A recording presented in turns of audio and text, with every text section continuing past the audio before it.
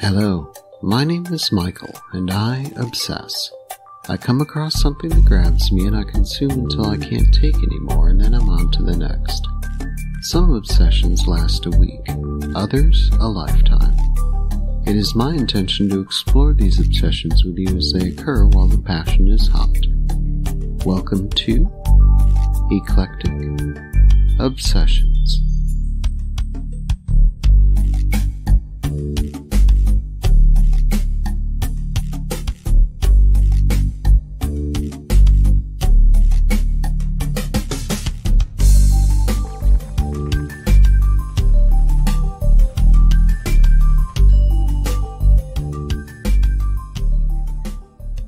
This film will take you where no one has ever been before. No eyewitness has actually seen what you are about to see.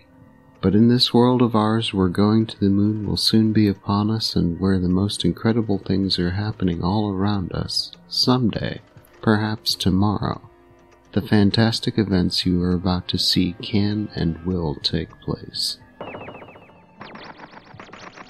That was the original on screen prologue appearing immediately after the opening 20th Century Fox logo and fanfare.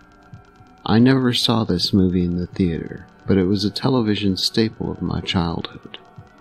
We will be exploring Fantastic Voyage on this episode of Eclectic Obsessions.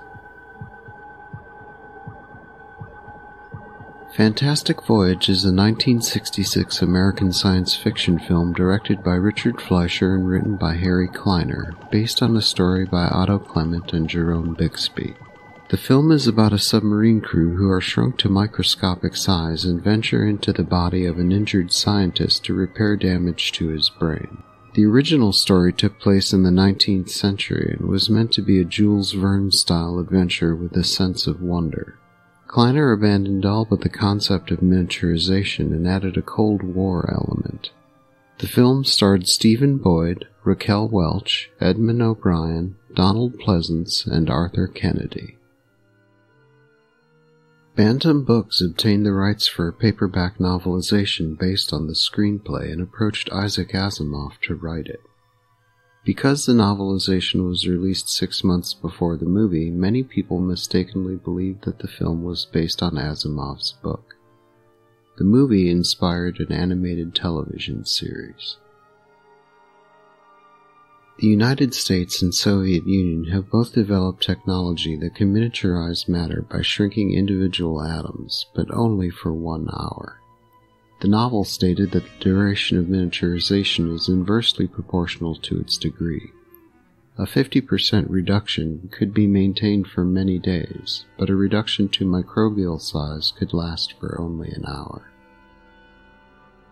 Scientist Dr. Jan Benes, played by Jean Del Val, working behind the Iron Curtain, has figured out how to make the process work indefinitely. With the help of American intelligence agents, including Agent Charles Grant, played by Stephen Boyd, he escapes to the west. But an attempted assassination leaves him comatose with a blood clot in his brain that no surgery can remove from the outside. To save his life, Agent Grant, pilot Captain Bill Owens, played by William Redfield, Dr. Michaels, played by Donald Pleasence, Surgeon Dr. Peter Duval, played by Arthur Kennedy, and his assistant Cora Peterson, played by Raquel Welch, are placed aboard a Navy submarine at the Combined Miniature Deterrent Forces facilities. The submarine, named Proteus, is then miniaturized to about the size of a microbe and injected into Benes. The team has 60 minutes to get to and remove the clot. After this, Proteus and its crew will begin to revert to their normal size, become vulnerable to Benes's immune system, and, in the words of Asimov's novelization, kill Benes regardless of the success of the surgery. The crew faces many obstacles during the mission. An arteriovenous fistula forces them to detour through the heart, where cardiac arrest must be induced at the risk of killing Benes. After an unexplained loss of oxygen, they must replenish their supply in the lungs. They are forced to pass through the inner ear, requiring all outside personnel to make no noise so as to prevent destructive shocks. A sound is accidentally made from a fallen surgical tool, though, and the ship and crew are badly thrown about, and Cora is, as a result, almost killed by antibodies. To top it all, they discover after their detour through the heart the surgical laser that is needed to destroy the clot was damaged from the turbulence, and this was due to it not being strapped down as it was before. The crew confirms a saboteur is on the mission. They must cannibalize their wireless telegraph to repair the laser, making communication and guidance from outside impossible to get from then on. By the time they finally reach the clot, they have only six minutes remaining to operate and then exit the body. Before the mission, Grant had been briefed that Duval was the prime suspect as a potential surgical assassin. But as the mission progresses, he pieces the evidence together and near the end instead begins to suspect Michaels. During the critical phase of the operation, Dr. Michaels knocks out Owens and takes control of Proteus, while the rest of the crew is outside for the operation. Duval successfully removes the clot with the laser, but Michaels tries to crash the submarine into the clot area to kill Benes. Grant fires the laser at the ship, causing it to veer away and crash. Grant saves Owens from the Proteus, but Michaels is trapped in the wreckage and killed when a white blood cell attacks and destroys the ship. The remaining crew swim desperately to one of Benes's eyes and escape through a tear duct seconds before returning to normal size. The original screenplay included a follow-up scene in which, because of brain damage caused by the submarine, Benes no longer remembers the formula for unlimited miniaturization. Surviving stills suggest that this scene was filmed but never used. You are listening to the sound of a completely new screen experience. A startling new kind of excitement. As 20th Century Fox plunges you into the most incredible adventure that man could ever achieve.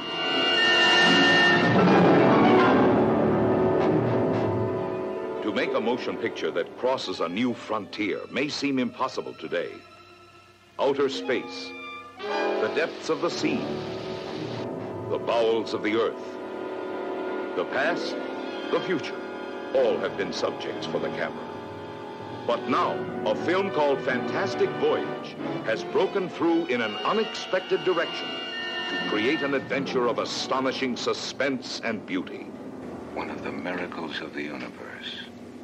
Its vital news story sweeps down from the sky. Then it drops the bottom out of the world you know and understand. As a beleaguered nation desperate for survival launches a journey you can never erase from your memory. We need you for security purposes, Mr. Grant. They know they failed to kill Benish. Security thinks they'll try again, first chance they get. A woman has no place on a mission I of this insist kind. on taking my technician. You'll take along who I assign. Don't tell me who I'm going to work with. Four men and a beautiful girl, off on a fantastic voyage, actually entering inside the human body, exploring an unknown universe, unknown dangers.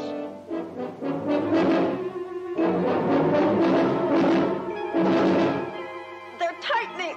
I can't breathe. 24 seconds left. After that, you're in danger of attack. Come on, Doctor. It's sheer suicide for all of us. You are there with them, sharing a breakthrough in motion picture.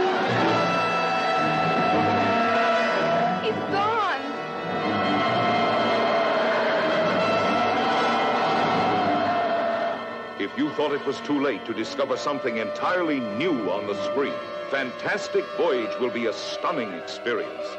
For you are going where no man or camera has ventured before.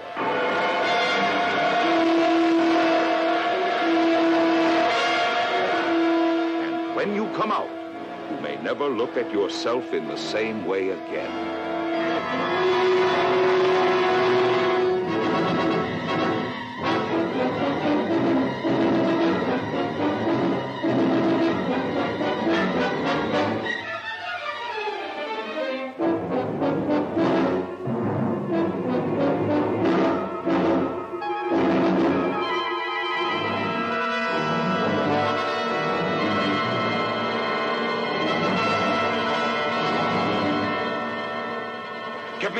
Beam.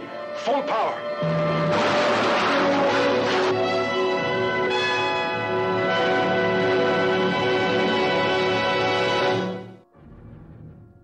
The film was the original idea of Otto Clement and Jerome Bixby. They sold it to Fox, which announced that the film would be the most expensive science fiction film ever made. Richard Fleischer was assigned to direct and Saul David to produce. Both men had worked at the studio before. Fleischer had originally studied medicine and human anatomy in college before choosing to be a movie director. Harry Kleiner was brought in to work on the script. The film starred Stephen Boyd, making his first Hollywood movie in five years. It was the first role at Fox for Raquel Welch, who was put under contract to the studio after being spotted in a beauty contest by David's wife. The budget was set at five million. The budget went up to six million, three million of which went on the sets and one million on test footage. For the technical and artistic elaboration of the subject, Fleischer asked for the collaboration of two people of the crew that he had worked with on the production of 20,000 Leagues Under the Sea, the film he directed for Walt Disney in 1954. The designer of the Nautilus from the Jules Verne adaptation, Harper Goff, also designed the Proteus. The same technical advisor, Fred Zendar, collaborated on both productions.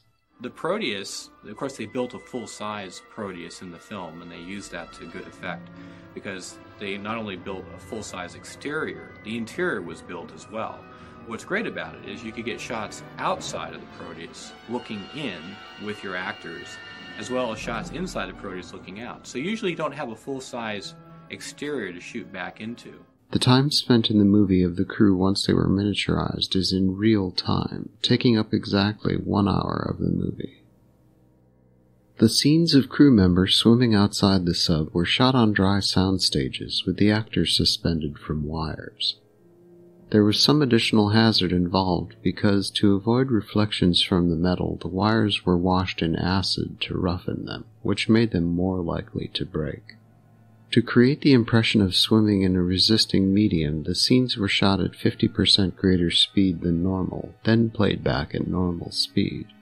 Medical schools, at least as late as the 1980s, showed clips from this movie to illustrate various concepts in human anatomy, physiology, and especially immunology. The signature effect in the film, of course, are the point of views looking outside of the sub of being inside the body, the plasma of the blood, and, and how that was created.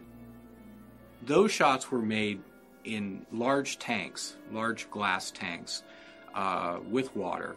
And they basically found substances like Vaseline or castor oil or anything that was anything that wouldn't mix with water. And they would eject this stuff out from the bottom of the tank and would float up toward the surface. And then they would have a camera shooting straight down at it with a big wide angle lens.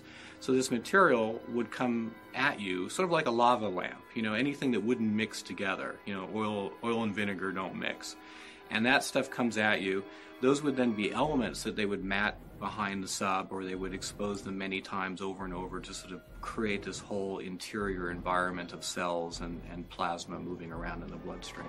I never imagined it could be anything like this. I always thought it was nothing but red.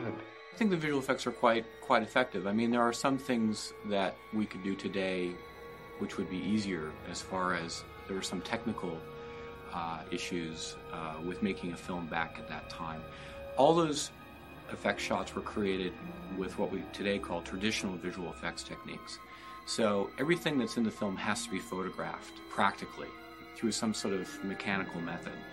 Um, and today, of course, we have uh, computer graphic technology, so it's a lot easier to sort of uh, remove the technical flaws that they had to deal with. There are some scenes, for example, where you're inside the submarine looking out and it's shaking. She won't respond. We're in some sort of current background is kind of what we call scissoring strangely to the foreground because it's not tracked. Today on the computer we can track the background in to make it look like it all belongs together. That was a very difficult thing to do back then because they didn't have that technology. Although, you know, it's still very effective. This is the first American feature film with no musical score for the opening credits, only electronic pulses and sound effects. The score was composed and conducted by Leonard Rosenman, the composer deliberately wrote no music for the first four reels of the film, before the protagonists enter the human body. Rosenman wrote that the harmony for the entire score is almost completely atonal, except for the very end where our heroes grow to normality. The film received mostly positive reviews and a few criticisms. The weekly entertainment trade magazine Variety gave the film a positive pre release review, stating the lavish production, boasting some brilliant special effects and superior creative efforts, is an entertaining, enlightening excursion through inner space, the body of a man. Bosley Crowther of the New York Times wrote, For straight science fiction, this is quite a film, the most colorful and imaginative since Destination Moon. Richard Schickel of Life magazine wrote that the rewards would be plentiful to audiences who get over the real whopper of suspended disbelief required. He found that though the excellent special effects and sets could distract from the scenery's scientific purpose in the story, the old familiar music of science fiction in lush new arrangements was a true delight, and the seriousness with which screenwriter Kleiner and director Fleischer treated the story made it more believable and fun. Schickel made note of but dismissed other critics' allegations of camp. As of 2020, the film holds a 91% approval rating at the review aggregator website Rotten Tomatoes from 32 reviews, with the consensus being the special effects may be a bit dated today, but Fantastic Voyage still holds up well as an imaginative journey into the human body. The film won Academy Awards for Best Art Direction and Best Special Effects and was nominated for Best Cinematography, Best Film Editing, and Best Sound Editing. After acquiring the film's paperback novelization rights, Bantam Books approached Isaac Asimov to write the novelization, offering him a flat sum of $5,000 with no royalties involved. In his autobiography, In Joy Still Felt, Asimov writes, I turned down the proposal out of hand. Hack work, I said, beneath my dignity. However, Bantam Books persisted, and at a meeting with Marc Jaffe and Marcia Nasatir on April 21, 1965, Asimov agreed to read the screenplay. In the novelization's introduction, Asimov states that he was reluctant to write the book because he believed that the miniaturization of matter was physically impossible but he decided that it was still good fodder for storytelling and that it could make for some intelligent reading. In addition, 20th Century Fox was known to want someone with some science fiction clout to help to promote the film. Aside from the initial impossibility of the shrinking machine, Asimov went to great lengths to portray with great accuracy what it would actually be like to be reduced to infinitesimal scale.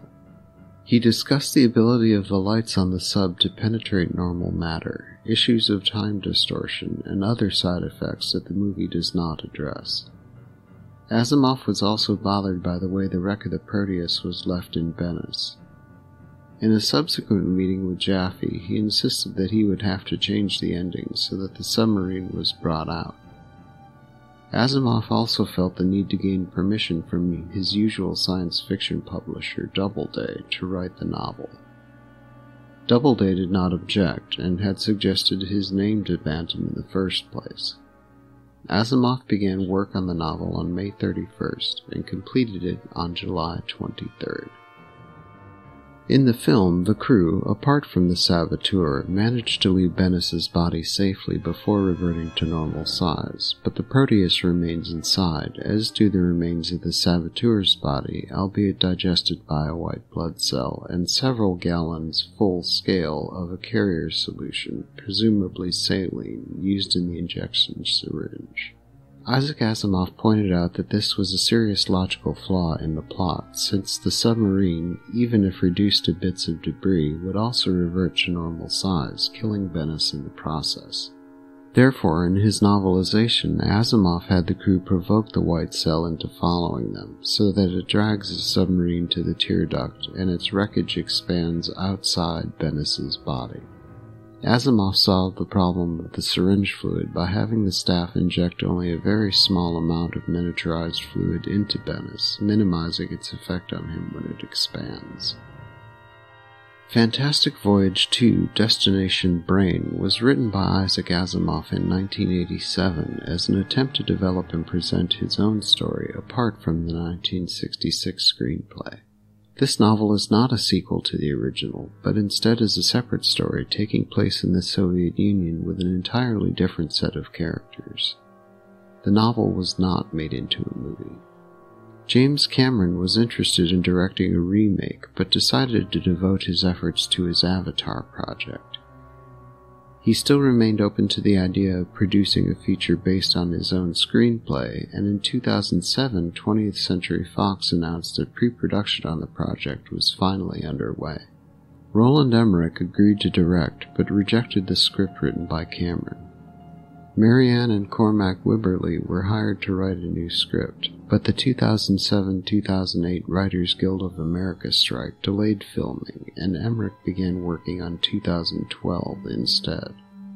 In spring 2010, Paul Greengrass was considering directing the remake from a script written by Shane Salerno and produced by James Cameron, but later dropped out to be replaced by Shawn Levy. It was intended that the film be shot in native stereoscopic 3D. In January 2016, The Hollywood Reporter reported that Guillermo del Toro was in talks to direct the reboot by reteaming with David S. Goyer, who was writing the film's script with Justin Rhodes, with Cameron still on the film by his production company, Lightstorm Entertainment. In August 2017, it was reported that Del Toro had postponed working on the film to completely focus on his film, The Shape of Water, due to release the same year, and he would start pre production in spring 2018 and would begin filming in the fall of the same year for a 2020 release. Nostalgia aside, this is still a very enjoyable film.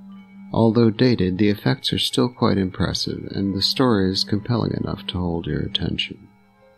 I can't put nostalgia aside, however. I grew up with this playing constantly on TV and bought it on Blu ray as an adult. I have been obsessed with it for years.